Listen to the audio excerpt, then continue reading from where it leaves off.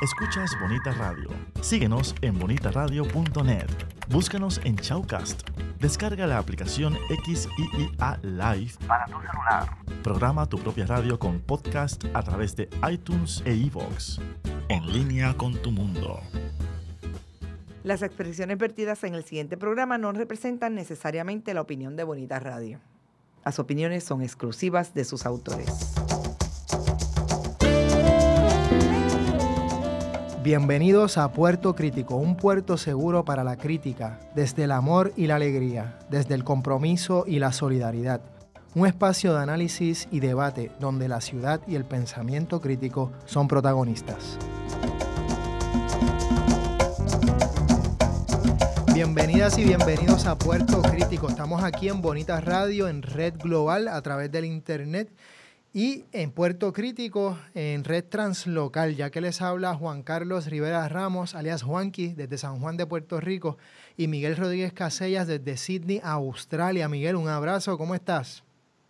Saludos, aquí listo para, para abarcar todo lo que está pasando, Dios mío, que eh, uno, semana tras semana, oye, de verdad que ni el disgusto cede ni la, ni la perplejidad, pero ya hablaremos de eso. Así mismo, esta semana es una semana que ha sido muy dura, una semana, y bueno, todas las últimas semanas han sido muy duras, y como tú dices, cada, cada una que viene se pone peor en cuanto a muchas cosas, en cuanto al retorno de los reprimidos que se destapa, la reacción, el revanchismo de derechas que sale, el racismo que se expresa, el nazismo, que ya lo podemos decir con nombre y apellido, que sale y, se expresa y hasta ya tiene un espacio de poder muy claro y un espacio eh, ya en lo que se podría decir en el mainstream del establishment estadounidense con la victoria de Trump y lo que ha surgido en los medios con este grupo que eh, se llama Alternative Right, que desde ya habría que quitarles ese nombre ¿no? y llamarles neonazis estadounidenses.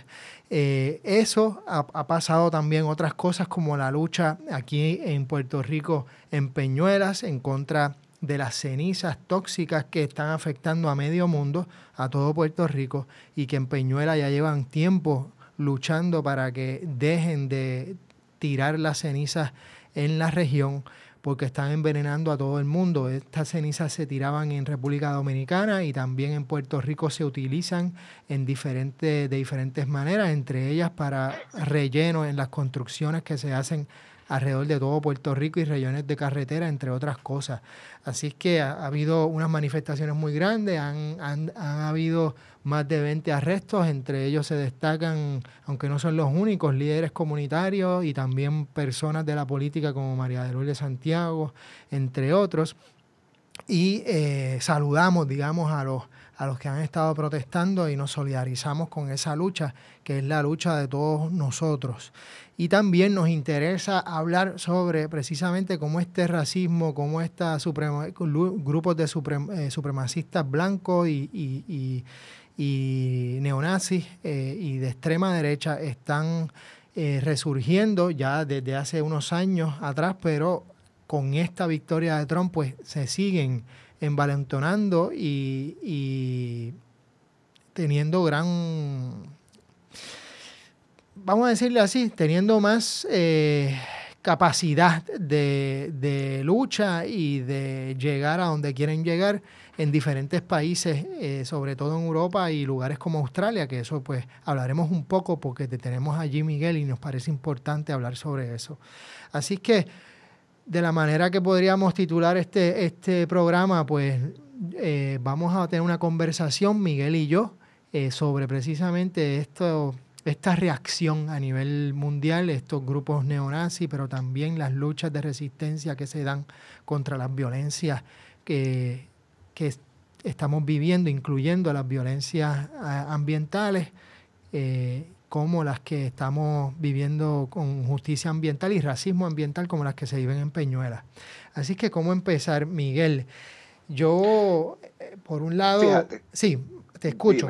No, te escucho, te escucho, te escucho. Sí, eh, por un lado, lo primero que me viene a la mente es precisamente las imágenes de, esta persona, este portavoz del grupo Alternative Rights en los Estados Unidos y que hace una conferencia en un edificio que me parece un edificio federal, un edificio muy cerca precisamente de allí, de, Capitol Hill, eh, donde tranquilamente, o sea, sin ningún problema, elabora todo un argumento bastante torpe, diría yo, pero un argumento totalmente nazi sobre precisamente el derecho de los blancos a, básicamente no solamente dominar sobre los demás, sino también eh, expulsar a quien haya que expulsar y hasta liquidar a quien haya que liquidar para mantenerse en el poder. Y obviamente con toda una relectura de la historia de la humanidad que es totalmente eh, racista, violenta, etcétera. Y obviamente con los saludos nazis que todo el mundo vio. Entre otras cosas, o sea, llama mucho la atención. Uno sabe que estos grupos existen, pero ya verlos en una posición de mainstream eh, ya es otra cosa. Y si en un momento alguien pensaba que Trump podía ser un tipo ambiguo, que tal vez eh, se le podía dar una luz verde en términos de que realmente lo que hablaba era para, para poner, digamos, para tener ratings y demás, pues ya uno ve que de alguna manera, si bien eh, eh, sin, duda ha sido un personaje de televisión y es un tipo ambiguo, también está bien claro que ya las personas que está nombrando para, para que lo asesoren en política pública, pues oye, ya estamos hablando de personas que son eh, nazis, que racistas, claramente eh, eh, violentas, digamos, de derechas, pero de una derecha ya ultraderecha. Y esto es una declaración de guerra, me parece a mí, muy clara a todo el mundo, a toda persona que, que, que, ni siquiera, o sea, a toda persona que tan siquiera piense en el prójimo como, como ser humano, ¿no? Y como una persona con derechos nada, un poco me estoy, me estoy deshogando porque hay que hablar de estas cosas y hay que llevar a los medios, aunque sean medios como este, que no se escuchan tanto como se escucharía un medio de la radio eh, comercial, pero hay que hablar de estas cosas y ver cómo vamos a enfrentar y ya esto de esperar para después y a ver qué pasa, pues se está haciendo tarde, no se puede esperar más. Hay que actuar y entre esas cosas, actuar puede movilizarse, aunque no es lo único. ¿Qué piensas, Miguel? Sí, eh, pienso en varias cosas. Eh, fíjate, la postura de esperar, Juanqui, que pareció eh, pues darle, es como el próximo capítulo de, de, una línea que hemos visto entre ciertos sectores de la intelectualidad local y menos local, eh, que tienden a ser eh, apologistas, eh, algunos abiertamente, en otros pues utilizan el, la importancia de la duda, de la cautela, del análisis reflexivo, cosas con las cuales, pues, ¿quién va a estar en contra de eso, no? por supuesto, cualquier ejercicio intelectual aspira a eso, fantástico. Pero se utiliza esa especie de, de consenso, digamos, entre pensadores para más que esperar, fomentar eh, una especie de, cautela extrema, absoluta, que impide establecer eh, modos de actuar, eh, individual y colectivamente. Entonces, cuando uno ve la consecuencia de ese tipo de reacción, que ya empieza a tener bandos específicos, algunos no me sorprenden. O sea, esa ha sido la línea, cada vez que ha habido un conflicto local o internacional, esa es la postura. Eh, o sea, de momento la academia pide tiempo o los intelectuales piden tiempo. Eh, sin embargo, el resto del mundo sigue moviéndose, los labels llueven, las cosas empiezan a definir nombres eh, por gente a lo mejor menos capaz para nombrar y apalabrar. Pero pues, mientras tanto, la academia y el mundo intelectual pues pide tiempo. Claro, hay gente que claramente se salió de eso. Entonces, me preocupa porque veo esa línea resurgir en Puerto Rico, tanto como lo vemos en Estados Unidos. Eh, y fantástico en un mundo de debates abiertos donde se atesora eh, la pluralidad, el encuentro de ideas, eh, incluso pues los, los, debates álgidos, duros, altisonantes si es necesario, eso es parte de los registros de expresión, todo eso fantástico. Pero el problema es que empieza a ser una postura dominante casi, este, Juanqui. y entonces pues eh, podríamos invertir en alguna parte del programa en hablar de los trogloditas del patio y los trogloditas eh, del trompismo americano y de cómo los sectores más de, los extremos de una derecha eh, que ya no es ni pintoresca, se asusta, es lo que es. Podemos hablar de eso, pero yo sigo pensando que el área más problemática ahora mismo de cara a uno, primero, encontrar coordenadas con las cuales entender lo que está pasando alrededor en tiempo presente. Sí porque eso es una necesidad, es una habilidad que tenemos que cultivar. Y eh, segundo, en función de la necesidad de actuar, veo como que eh, lo más peligroso ahora mismo son eh, estos, estas invitaciones a, posponer el ponerle palabras a las cosas, al tener cuidado con qué se dice, a no tomar el nombre fascista tan livianamente, que eso tiene un contexto histórico. y de momento hay tantos matices, tanta necesidad de conocer tanta opinión a la misma vez y con el mismo peso eh, que relativiza básicamente cualquier esfuerzo eh, de entender y luego de actuar. Eh, y esos grupos vienen de muchas maneras. Entonces, usualmente, pues, una de las quejas es las redes sociales como un instrumento de desinformación y no ven otras cosas que las redes sociales producen, lo cual lleva a reiterar la supremacía de la academia como el lugar, el centro desde donde se apalabran las cosas y, y, la academia entonces pide tiempo Cierto. Y lo tercero es el comentario cada vez más común de que, de que eh, asumir posturas eh, o trabajar desde algún, algún nivel de certeza operacional, no estamos hablando de ser obstuso, no estamos hablando de ser testarudo, no estamos hablando de cegarse a escuchar las opiniones adversas a la de uno, no, pero que de momento operar desde la certeza, aunque sea provisional, que eso es malo. Entonces, ahí te digo yo, en medio del, problema político presente y los problemas políticos futuros que ya empiezan a alinearse en el horizonte, ¿qué valor tiene ese tipo de discurso? ¿Por qué se trae?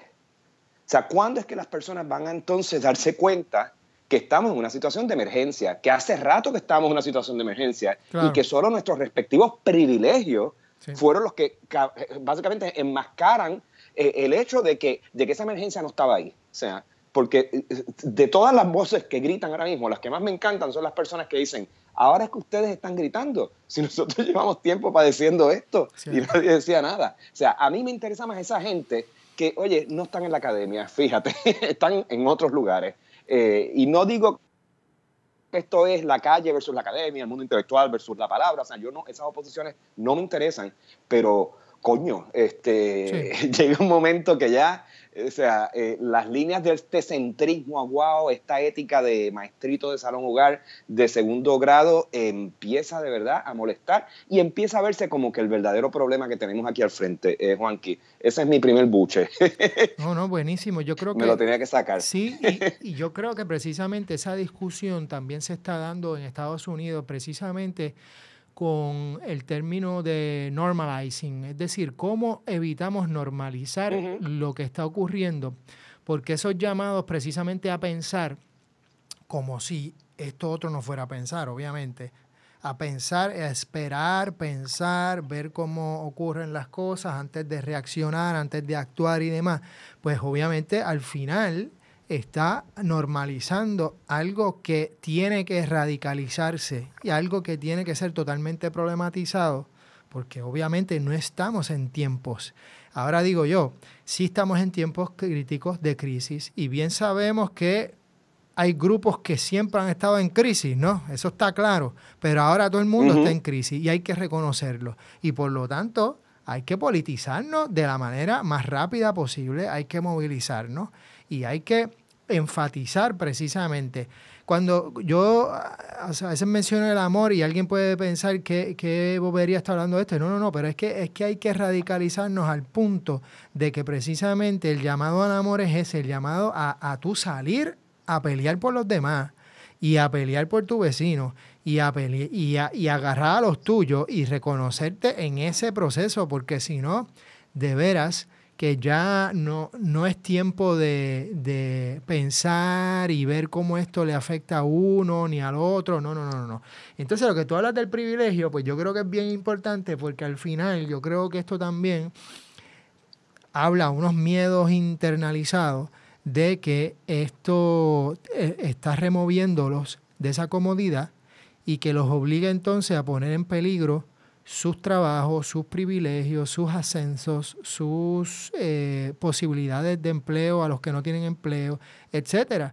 Y obviamente, pues. Sí, a que te digan ideólogo. Exacto. Te dicen ideólogo, maniqueísta. Y te, y, ponen tú en la a chillar y a llorar. Exactamente. Exactamente. En lugar de resistir y refutar ese tipo de acusaciones. Exacto. y como, pues, y como ha sido. El, mundo de los intelectuales. Es un mundo de miedo. Sí, es un mundo de miedo. Y entonces, como lamentablemente parte mm. del trabajo intelectual ha sido, que es importantísimo, pero ha sido, o sea, la, la, crítica a veces se ha convertido en ser un policía de lo que dicen los demás.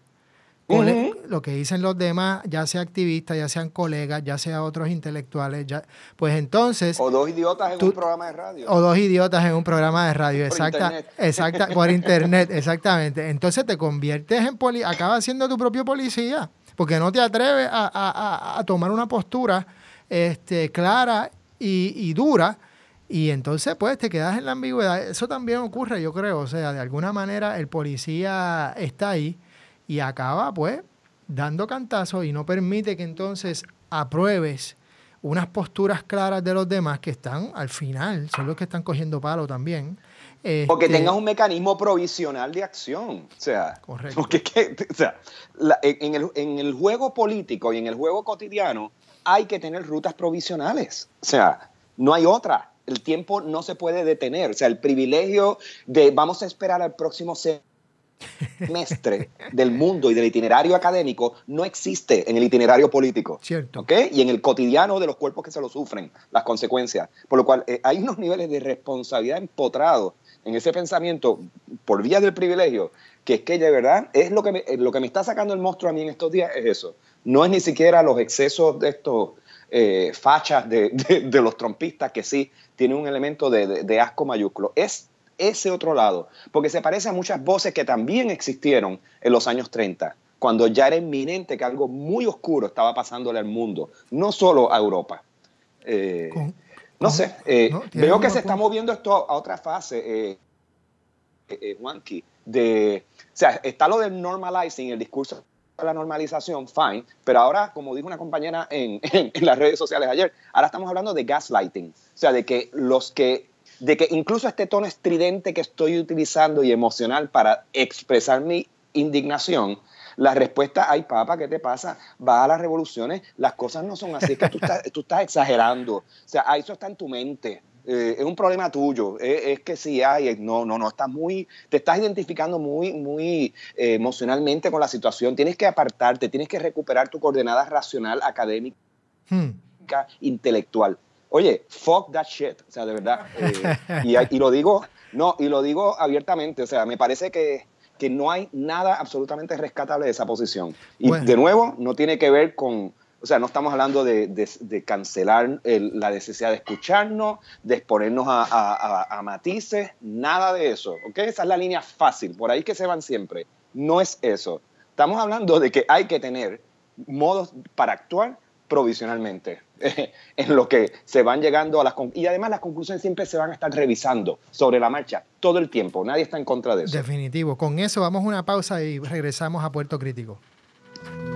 Una vez alguien preguntó, ¿qué valor tiene la cultura cuando la experiencia no nos conecta con ella? Culturéate es la revista radial que nos acerca a la identidad, pero sin perder la movilidad.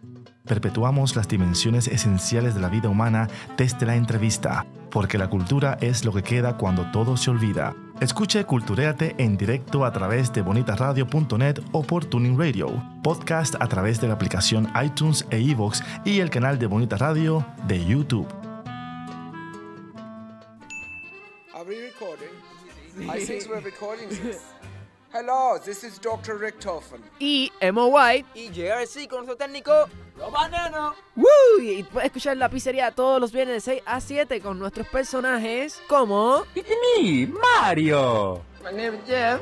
En What the Fun tenemos secciones de juegos, películas, series, cómics y secciones de vacilón. Todos los viernes de 6 a 7. Esto es solo el comienzo. ¿Qué piensas al escuchar la palabra contaminante? Radiación. Químicos. Basura. Plásticos. Humo. ¿Sabías que no todos los contaminantes se quedan en el ambiente? El ruido también es un contaminante de alto riesgo para la salud humana. Es producido principalmente por las actividades diarias del hombre y puede causar reacciones adversas a nuestro sistema, tales como alta presión, dolores de cabeza, agresividad, estrés, pérdida de la audición, entre otros. Tú puedes evitarla no haciendo ruidos innecesarios. La contaminación auditiva pasa inadvertida. Escuela especializada en producción de radio y televisión, Dr. Juan José Osuna. Hola, soy el doctor Emilio del Carril y estoy aquí para invitarlos a escuchar De Letras. El quehacer literario tiene su espacio en el primer programa radial de literatura desde la radio web. Conversamos con aquellos para quienes la palabra es el oficio. Escúchelo por bonitaradio.net, por podcast a través de iTunes e iVoox o por el canal de YouTube de Bonita Radio. Y regresamos a Puerto Crítico, hablando de estas semanas de reacción y violencia que estamos viviendo. Y estábamos hablando, entre otras cosas, yo le llamaría de, entre, otra forma de llamarlo es la responsabilidad de las y los escritores, la, responsabilidad de los y las académicos y, los intelectuales en precisamente tomar postura, en ver cómo están o no están apoyando esta violencia en, en las diferentes maneras de llamados a la calma o llamados a pensar sin actuar o movilizarse, el, precisamente el llamado a desmovilizarse, a veces hasta retirarse para pensar y ver cómo pasan las cosas. El problema es que el ver cómo pasan las cosas, pues no deja de que las cosas pasen. Y muchas veces, a veces si no estás en el proceso de la lucha, no vas a ver cómo ocurren esas cosas. Y pienso ahora mismo en lo que está ocurriendo en Standing Rock, porque vuelvo a Estados Unidos porque me parece que es importante, porque está conectado precisamente Standing Rock con lo que ocurre en Puerto Rico. Y bueno, ya que mañana es el día de mañana y que ya tú lo estás viviendo, eh, habría que mencionar ese jeroglifo social y político que es el pavo. Un pavo que significa tanto a nivel de jeroglifo social y político genocidio como ecocidio, en términos de lo que eso ha significado en la historia de los Estados Unidos y el exterminio, digamos, de cantidad de grupos eh, indígenas. Y eh, también, pues, lo que eso significa en términos de la destrucción ambiental, no solamente con la reproducción y comida en términos de los pavos, sino lo que está ocurriendo en Standing Rock y en la destrucción de los cuerpos de agua, no solamente ahí, pero alrededor del mundo. Y la lucha que se está dando con una represión que cada vez se agudiza. Eh, y ya una persona creo que perdió el brazo con un bombazo que metieron eh, la policía. Esto bajo Obama. Y también habría que decir que, lo que la represión que está ocurriendo en las protestas y manifestaciones en Peñuela es bajo los populares. Eh, todavía Trump no está en el poder y todavía Obama, eh, perdóname, todavía eh, Ricardo Rosselló no está gobernando. Y esto está ocurriendo bajo los populares. Y me parece eso importante porque hay que hacer esas conexiones, ni hablar de la relación entre colonialismo indígena y todo lo que es las reservaciones y bueno, el, territorio de Puerto Rico y, y, lo que eso implica en términos también de colonialismo.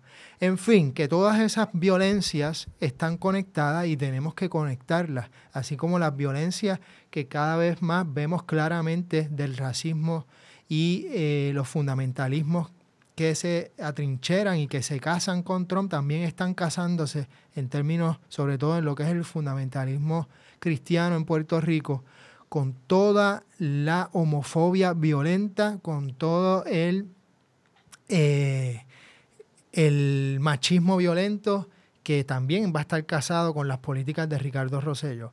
Y me parece que todo eso hay que estar muy alerta y más que alerta, eh, escribirlo ya no con eufemismos.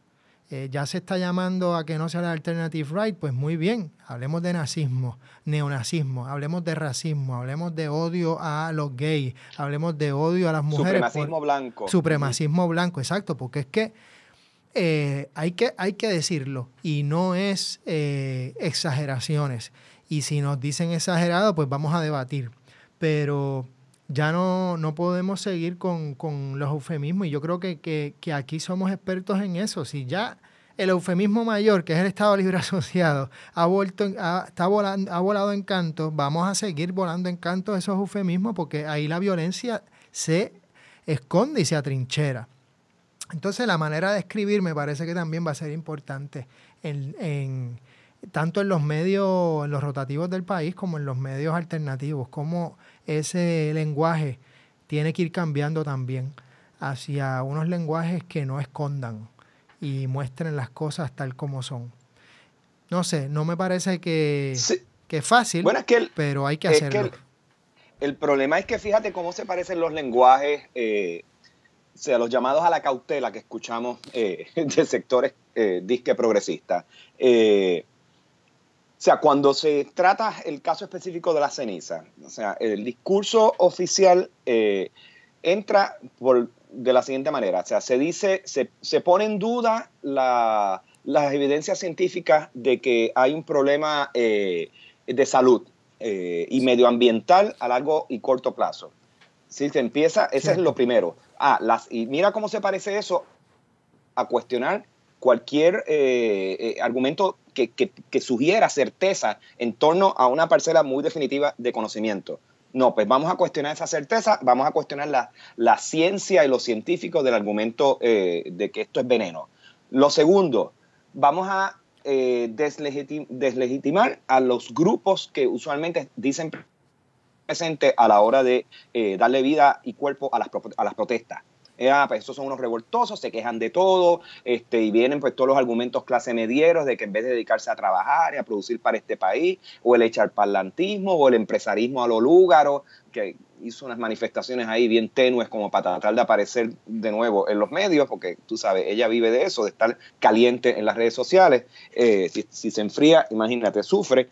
Eh, entonces, cuando empezamos a ver el paralelo entre un lado y otro, pues los discursos disque de la, del progresismo cauto, irresponsable y sobrio se parecen mucho al discurso oficialista que invalida cualquier escenario de opresión, cualquier escenario de abuso. Ayer en la televisión yo escuchaba a la directora del grupo de transición de Trump, que era la directora de campaña antes, diciendo que mira cómo trastocaba toda la discursividad, digamos, de la opresión. Ella decía, bendito, la familia de Trump, su esposa y su hijo están aterrorizados con esas manifestaciones en las afueras de su edificio en Nueva York. Este, aquí eh, vamos a bajar el tono, o sea, eh, todo esta este tono confrontacional, dijo ella, estoy citando, este hmm. tono confrontacional de los manifestantes. Vamos, eh, Estados Unidos es un país de gente que se escucha. Este no es el país que nosotros queremos validar, al contrario. Y mira, los inmigrantes y los grupos minoritarios no tienen que tener miedo, lo que tienen que hacer es sumarse a la conversación de Mr. Trump. Eso fue lo que ella dijo en PBS News Hour. Y me toca a mí escuchar eso, qué sé yo, media hora, 40 minutos de entrevista. Yo, tú sabes, tirando los objetos al televisor. Eh, ¿Qué te puedo decir? O sea, cuando escucho ese tipo de argumentos, yo digo, pues que así es que están sonando nuestros intelectuales queridos. O sea, de aquí y de allá. O sea, gente que uno esperaría reacciones un poquito, otros no me sorprende, pero gente que uno esperaría unas reacciones un poquito, al menos, no sé, eh, mm. más cautelosas en su entreguismo o en su afán normalizador o en su gaslighting de los procesos emocionales que crea esto en todos nosotros, en todos los que nos sentimos de alguna manera target, o sea, no, lo que sale es un discurso muy parecido a, cómo habla el trompismo. O sea, no existe la opresión, no existe la violencia, está en tu mente. Ese es el mensaje. Ah, y, la ciencia que estás usando eh, es, mala ciencia, porque la realidad es otra y aquí están los datos. Y de momento, pacatún, se invisibiliza todo. Lo mismo que pasa en Australia con los campos de concentración, que no son una realidad remota, imaginaria. Aquí ya existen y son tolerados tanto por eh, el centro izquierda como por la derecha, tú sabes. Eh, eh, campos de concentración, Miguel, aborígenes de los, de los indígenas o, de, en general? No, aquí, aquí básicamente el mensaje es fomentar una especie de paranoia histórica de que el país va a ser invadido por toda esa muchedumbre asiática, que son muchos más cuerpos y por ende le tienen terror estos hombres blancos andan asustados desde que llegaron aquí, arrebataron tierra y mataron gente, pues saben que les puede pasar lo mismo a ellos. Así que desde esa paranoia se crea todo el concepto de la vigilancia de las fronteras y de los bordes, muy parecido a Trump y sus muros contra los mexicanos, que son violadores y, y, y, narcotraficantes y lo que sea, en su imaginación. Y aquí pues se crean eh, en unas islas fuera de Australia, usando muy inspirados en cómo Estados Unidos manejaba también con el Patio Act la cuestión de las torturas fuera de territorio nacional, pues tienen unas islas allá en Papua Guinea o en, eh, en el medio de la nada, donde tienen básicamente campos de detención. Cualquier persona que es sorprendida entrando a Australia en oh. alta mar los llevan directamente ahí. Y es de, detención indefinida y es un, es un recurso de deterrence. La idea es que, eh, que, enviar el mensaje de que en Australia no te van a dar, eh, no te van a dejar quedarte aquí y tienen, qué sé yo, como 2.000 personas allí metidas, no son tantos, podrían ser fácilmente absorbibles en, los, en este vasto territorio australiano, pero los tienen allí metidos, eh, niños incluso, familias enteras, eh, sin ningún tipo de posibilidad de que entren al país. Y la idea es que los, si ustedes se quieren regresar a su lugar de origen, donde te pueden matar, donde huiste bajo condiciones extremas, pues te vamos a ayudar a que regreses, pero no te vamos a dejar que entres a Australia. Mientras tanto, te quedas aquí. Y hay gente que lleva 3, 4 años allí metido. Y eso está normalizado en todo el discurso mediático aquí y todo el mundo lo ve como una operación. O sea, los eufemismos llueven. Y ahí mi, mi virulencia contra estas palabritas suaves y la cautela y las certezas y los siete culos, porque esa es la palabra. O sea, a cada cosa hay que ponerles nombre. Es un campo de concentración, no están vigilando fronteras y no son enemigos de los cuales nos estamos defendiendo. Son cuerpos expulsados por los abusos, de las violencias, de la economía, de las guerras y de todo lo que está pasando en el mundo. O sea, y, y aquí te digo, Naomi Klein el otro día dijo, en Estados Unidos la posibilidad de que Trump lo haga. Aquí en Australia ustedes llevan haciendo esto desde hace cuatro años. Y se lo dijo así en vivo, en televisión, al público australiano. Lo Obviamente, dijo la mayoría, oh, sí, la mayoría del país está de acuerdo, no con Naomi Klein, sino con la idea de que hay que protegernos de Asia. O sea, el mismo lugar de donde sacan dinero para, porque esos son los compradores de su minería, ahí están también los inversionistas de su mercado de bienes raíces, o sea, de donde mismo vienen los, los los pillos que los van a invadir los van a hacer minoría blanca en su propio país, de donde vienen todas esas amenazas imaginarias, ahí también está la fuente de dinero que el país celebra. Y nada, después volvemos a ese escenario que es complejísimo, pero te lo digo porque esto ya empieza, esto de Trump empieza a tener empieza a, descoñetar un montón de, discursos de derecha alrededor del mundo, que se sienten ahora como copycat, invocados, eh, llamados, interpelados a, tú sabes, a asumir las armas a, volcar todo su veneno eh, cada vez de manera más y más pública. Eh, o sea que lo de los eufemismos que me quejo ya están hasta desapareciendo, Juanqui. Los eufemismos ya los están dejando a un lado. Es más, lo del eufemismo parece ser una etapa que ya estamos superando porque ahora vamos a empezar también a insultar de frente con nombre y apellido. Bueno, yo creo que la derecha ya está dejando los eufemismos. La cosa es ver cómo de acá los liberales y eh, intelectuales, académicos, entre otros, pues lo sueltan, porque me parece que sí, tienes razón.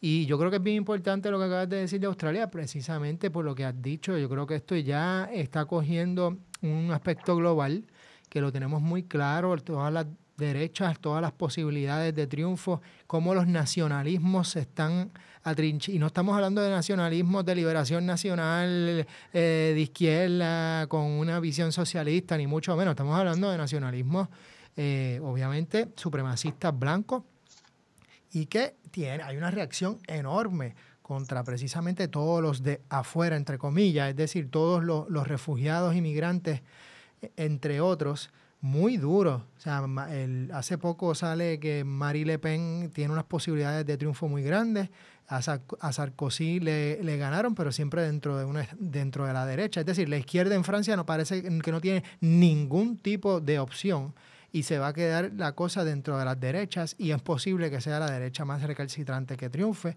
Eh, eh, estoy hablando de Francia, pero obviamente esto se refleja en muchas partes del mundo ya y lo que viene no va a ser fácil. Sabemos que Putin tiene una cantidad de políticas anti-gay, fachas que llevan años eh, ocurriendo en Rusia y esto también eh, sigue adelante. Es decir, que la cosa no está nada fácil y como bien estás diciendo, eh, los eufemismos ya volaron en canto en una parte, digamos, del espectro político. Hace falta que vuelen en cantos en las otras partes del espectro político.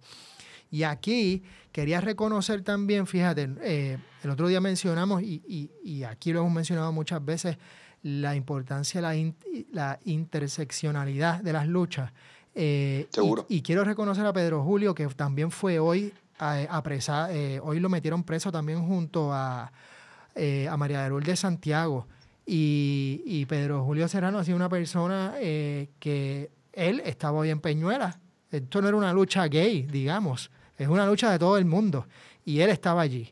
Y yo creo que eso es muy importante porque a la hora de eh, reconocer a las personas, pues aquí estamos viendo cómo se están, estamos reconociendo que todas estas luchas están eh, interconectadas, todas las opresiones están interconectadas y tenemos que, que unirnos en tanto en la lucha por las comunidades LGBT como en esta, y ahí pues estaba él, digamos, como, como una representación, y estoy seguro que habían otras personas eh, envueltas, pero digamos se destaca pues porque obviamente es una figura pública. Vamos a una pausa y regresamos a Puerto Crítico en un momento. Llegó tu programa deportivo. Tu programa. Espérate, espérate, para. Ya llevamos más de un año con esta promo. Sisto, vamos a cambiar esto.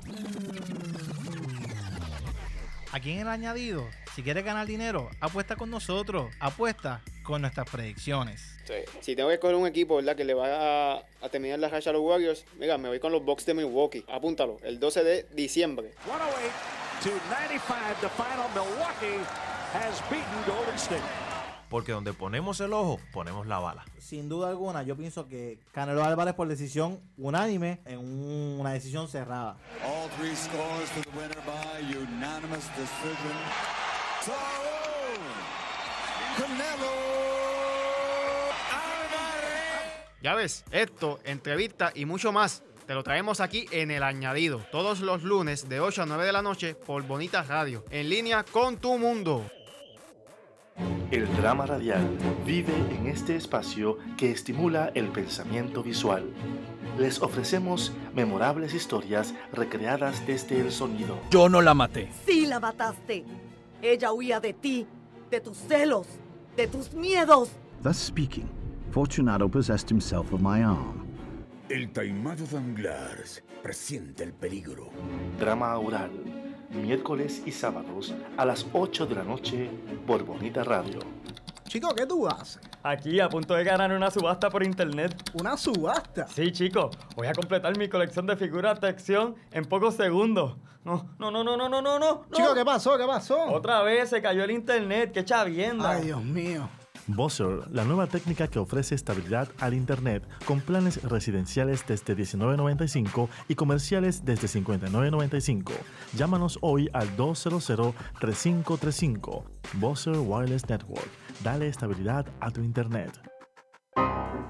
Ecos e Iconos es un espacio de amenas entrevistas. Hacemos un retrato radiofónico a los exponentes del teatro, la danza, el cine, la radio, la televisión, el performance e internet. Conversamos y a la vez documentamos de dónde surge una idea, su desarrollo, trascendencia y relevancia. Escuche a los Ecos e Iconos de la Cultura todos los sábados a las 2 de la tarde por bonitaradio.net. Dicen que a través de la música viajamos en el tiempo.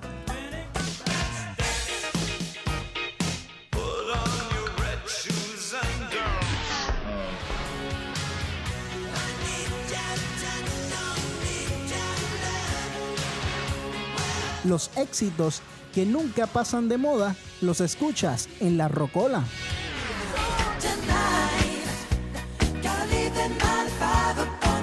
Escúchala en vivo a través de bonitaradio.net o a través de la aplicación de Tuning Radio.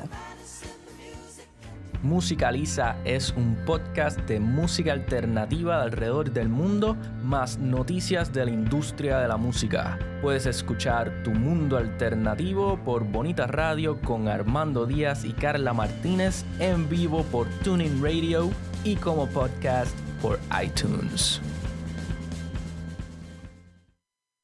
Y regresamos a Puerto Crítico, Miguel Rodríguez Casellas y Juan Carlos Rivera Juanqui conversando sobre esta semana de violencias y reacciones, en tanto en Puerto Rico como en Estados Unidos, pero también los efectos que eso tiene en todo el mundo, incluyendo pues obviamente Australia, que es donde tú estás.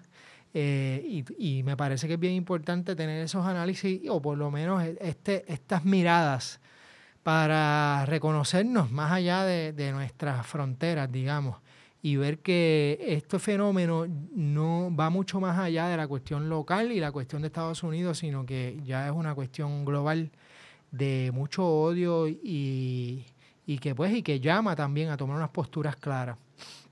Eh, estaba hablando de, la interseccionalidad de luchas y, las diferentes personas que han tomado presas. Eh, interesante también cómo diferentes debates eh, están surgiendo en esta lucha.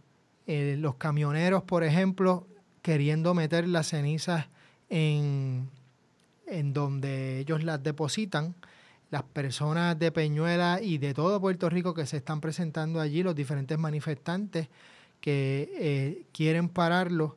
Y entonces, cómo de alguna manera la identificación, que no entiendo, o digamos, no debo decir no entiendo, obviamente están los intereses económicos de los camioneros en términos de sus trabajos y demás, pero también está la identificación de los camioneros con ya dependiendo si son camioneros independientes o si son camioneros de la misma empresa con la empresa. Entonces, todos esos debates que se dan, es importante ver estas contradicciones y a la misma vez cómo uno las eh, agudiza para que se pare este tipo de, acciones y que se sienta, digamos, el gobierno responsable en, en todo esto, porque le están echando, digamos, los camioneros que si bien yo no me identifico con ellos porque quieren meter las cenizas en donde, digamos, quieren, en donde las están depositando, eh, son eh, de alguna manera los que el enfoque de los medios, cuando debe ser el gobierno de Puerto Rico, el Estado,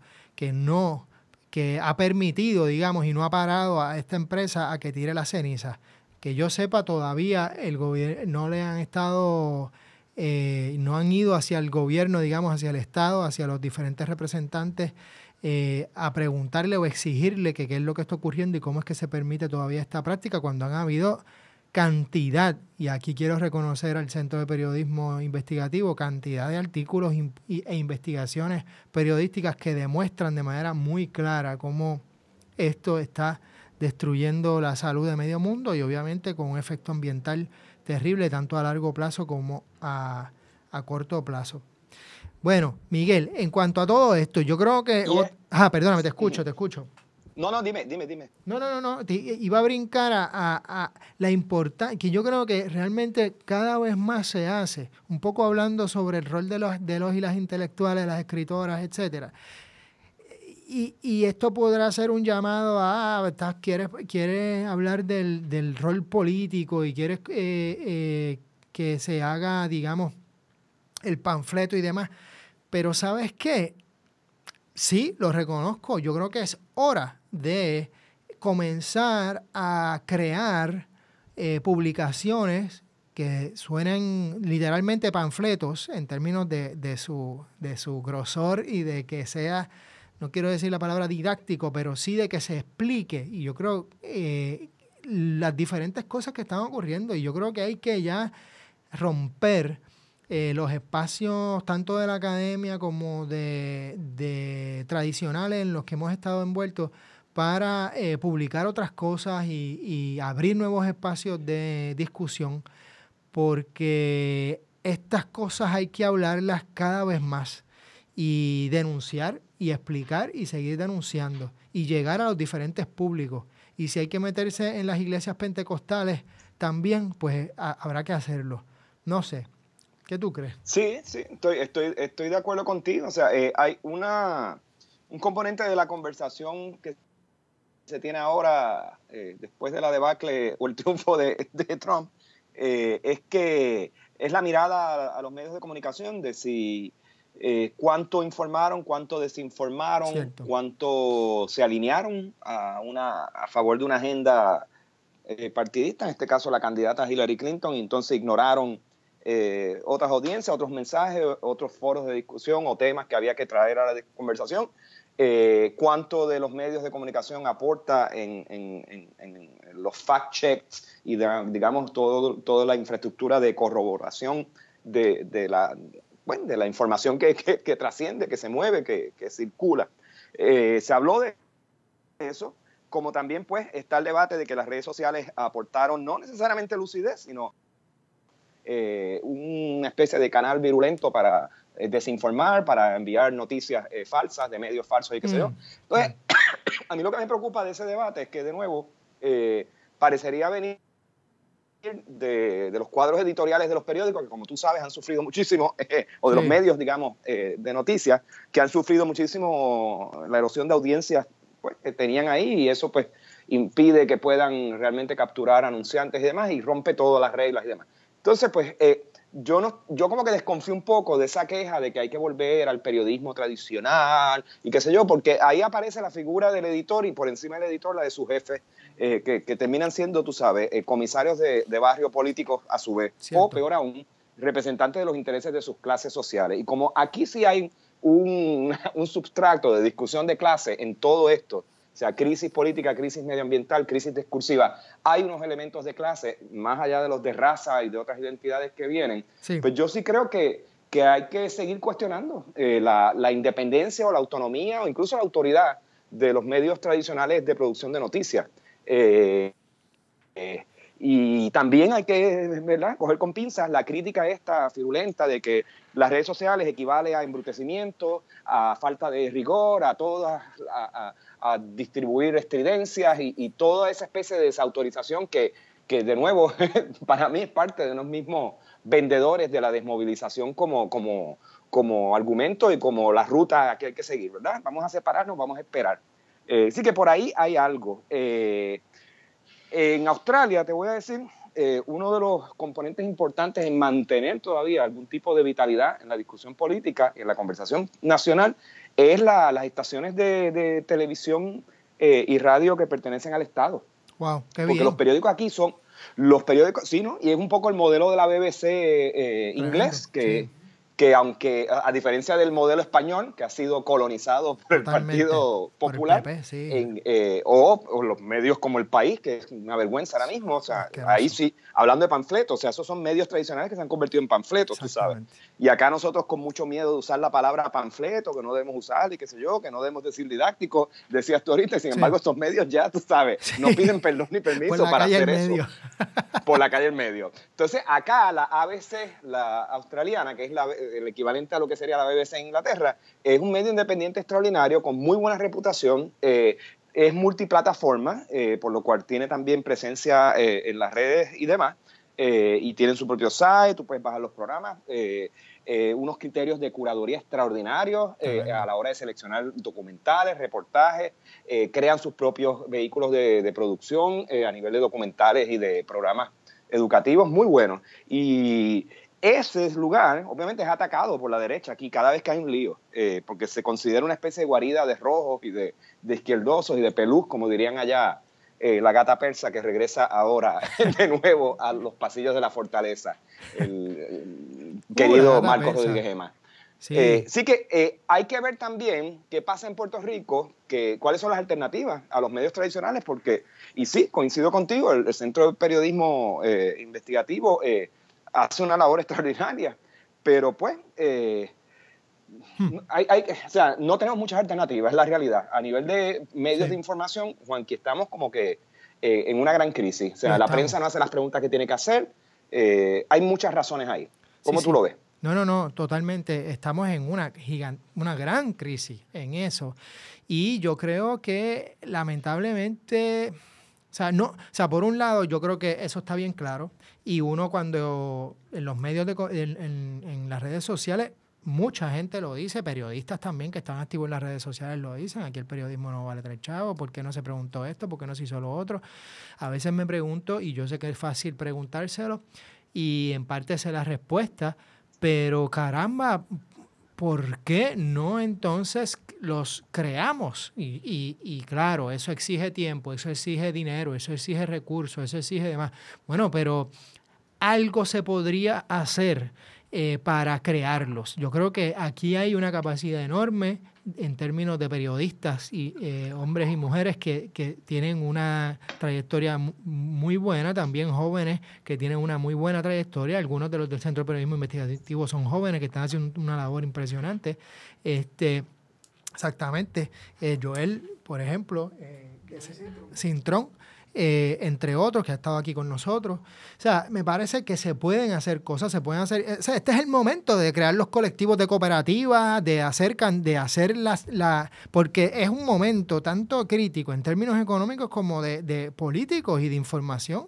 Y son los momentos de hacer las cooperativas, son los momentos de crear los medios alternativos, los periódicos nuevos. Y si, y si son digitales, pues son digitales porque no hay chavos, pues bien. Y si hay que ganarse menos, pues bueno, pues óyeme, hay que hacerlo porque se nos va mucho. Y, el y, déjame decirte, el control que tiene el Nuevo Día y el vocero aquí es absoluto y es increíble.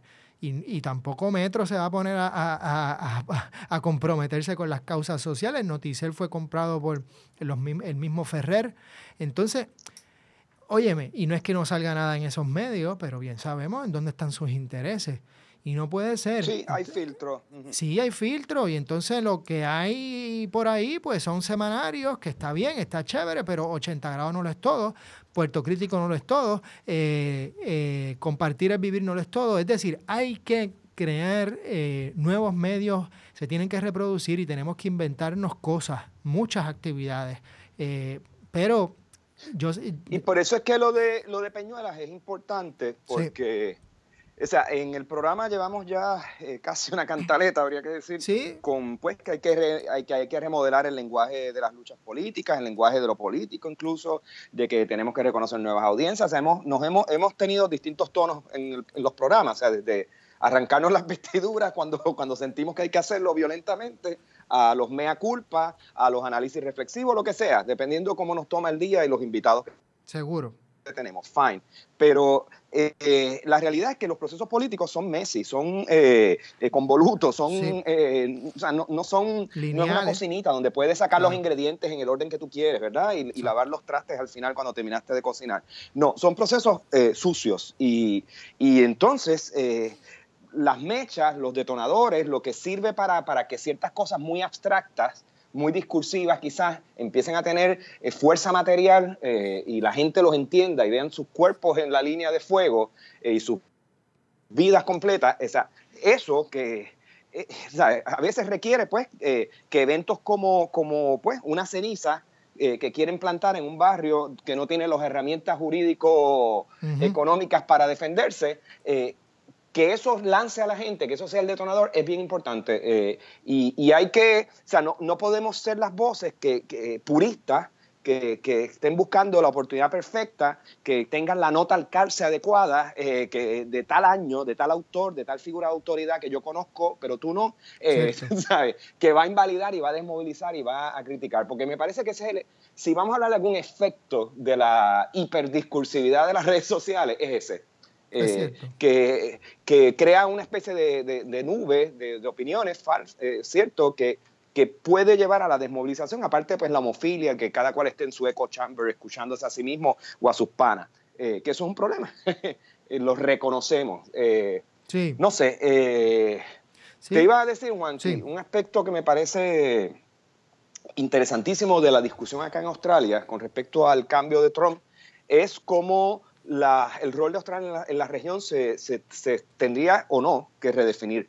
Hay unos partidarios, usualmente mm. identificados con la derecha, pero aún con el laborismo, eh, los sectores más conservadores del laborismo, que piensa que la defensa de Australia frente a esa eterna amenaza asiática, porque eso es lo que se juega aquí mucho, esa especie de paranoia, eh, es, administrada por Estados Unidos y hmm. que necesitan a Estados Unidos siempre como herramienta militar para que los proteja sobre todo frente a la violencia de China en el Mar del Sur y, lo que, todos sus deseos imperialistas reales o imaginarios en la zona. Y por otro lado está la parte pragmática, eh, económica, que también la puedes encontrar en, la derecha liberal, como la liberal, como lo entienden acá los anglosajones, como en los sectores laboristas, de que no, de que hay que mantener, estrechar nuestros lazos con China, porque nuestro desarrollo económico depende de ese intercambio. Entonces, el bienestar económico de Australia ya está en China, básicamente, eh, eh, en sus intercambios materiales e inmateriales eh, y demás, por todo el tema de que Australia es como una especie de banco de propiedades para poner el dinero chino aquí en lugar seguro, ¿verdad? Ante las dudas que tienen los sectores eh, privilegiados en China. Eh, está esa discusión, si es con Estados Unidos o si es con China, y se ha recrudecido con Trump ahora mismo. Y están aquí que sufren. Eh, entonces, vemos como un país disque soberano tiene que también en su discurso público manejar una especie de, admisión de que son colonia militar de Estados Unidos eh, y de que necesitan esa especie de, padre que los proteja. O sea, un discurso muy parecido al que manejamos en Puerto Rico y un discurso muy parecido en términos de esa especie de excolonizado que se siente desprotegido hmm. eh, en medio de una gran isla perdido en, los mares del sur. O sea, hay, mucho de... Hay unos paralelos extraordinarios. Eh, que no es para consolarnos, pero pues las colonias en el mundo existen de muchos sabores y tamaños. Y no somos, no somos los, los no, no, tenemos el monopolio de la, de la, colonización ni de la mentalidad colonizada en el mundo. Bueno, eh, y fíjate, ahora que mencionas eso, es interesante el nuevo, no sé si debe decir nuevo, obviamente, pero escuchando estos estos, estos neonazis de la, que ellos se llaman, eh, entre comillas, alternative right, ellos están utilizando mucho el término nacionalistas y se llaman así nacionalistas y le llaman nacionalistas blancos. Y es interesante porque el, y, tú estás hablando de las colonias, cómo este discurso vuelve fuertemente con revanchismo y, y, a la misma vez me parece que entonces el imaginario anticolonial no ya, ya no ya solamente de la decolonialidad, que es otra, que es otra discusión, obviamente, que surge más a partir de los 90, eh, que, es una reflexión sobre el colonialismo, pero con una mirada mucho más amplia y más con más intersecciones y demás. Pero es interesante ver cómo el mismo discurso también anticolonial dentro de los grupos eh, oprimidos, excluidos, etcétera, pues es posible que también surja, ¿no? Es decir, el verse como colonia en Estados Unidos, por ejemplo, la discusión de, los, puertorriqueños, los afroamericanos, entre otros, del el internal colonialism, es una discusión que se desarrolló, que ya mucho tiempo desarrollándose y en los 60 cogió mucho, mucho ímpetu y en los 70 también, y, es y, y mucho era precisamente reconociéndose como no solamente minorías, sino como como, bueno, naciones oprimidas dentro de este imperio por una nación blanca y todo lo demás, ¿no? Un grupo supremacista. Y casi, casi que todos estos discursos eh, regresan. Entonces, eh, la lucha de los identity politics, eh, o sea, ya yo no, o sea, es muy difícil ver eh, reconocer, digamos, ya uno va reconociendo cómo el eh, Identity Politics, pues los blancos también la, asumieron y desarrollaron su propio nacionalismo blanco en la derecha, quiero decir. Eh, pero también cómo tiene, nuevamente, ¿no? la importancia de ver la interseccionalidad y cómo si no se llega a esa interseccionalidad, pues entonces es muy difícil entender esto. Y yo creo que o sea, entenderlo sin que sin ver las conexiones. Cuando tú lo. Cuando Estoy tú, contigo. Tú sabes, eh, se me hace hasta difícil explicarlo. Perdóname. Sí, pero ha habido una especie de, tendencia a, criticar la, el identity politics, a hacerlo responsable, digamos, de esta debacle política en Estados Unidos, lo cual me parece reductivo, eh, una simplificación eh, intolerable, porque el mismo discurso, o sea, hay muchos hay muchas voces dentro de esa gran sí, exacto, exacto. bloque de, ideas. Y, y, una cosa que te iba a decir, eh, eh, Juanqui, que quizás de, de, todo lo que uno pudiera destacar de ese, de ese bloque de ideas, de los identity politics y sus luchas, eh, es bien importante el reconocimiento de, de, de, los privilegios desde donde se habla. Eh, se piensa, se opina, se actúa. Eh, y creo que el punchline a muchas de nuestras críticas a esa intelectualidad cauta que, que quiere tiempo extra, que quiere que esperemos indefinidamente y que seamos tan meticulosos y maticemos tanto al punto de que no podemos actuar ni pensar provisionalmente o a largo plazo, pienso que el punchline aquí es que ese tipo de opinión se, se dice y se habla desde el privilegio.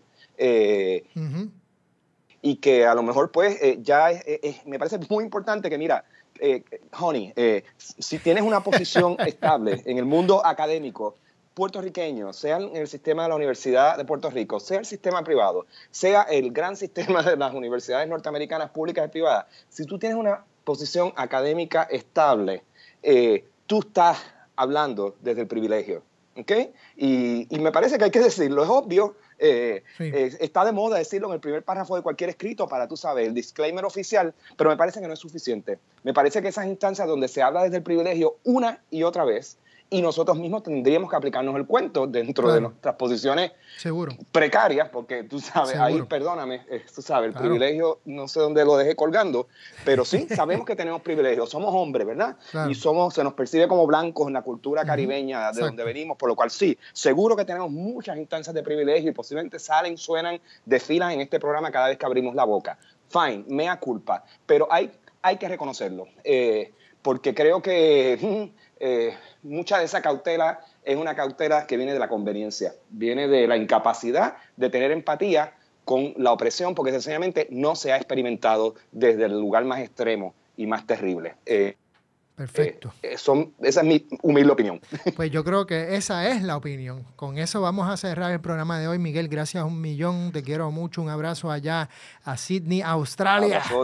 Y eh, nos vemos la semana que viene aquí en Puerto Crítico. Seguimos en lucha. Hasta la semana que viene. Escuchas Bonita Radio.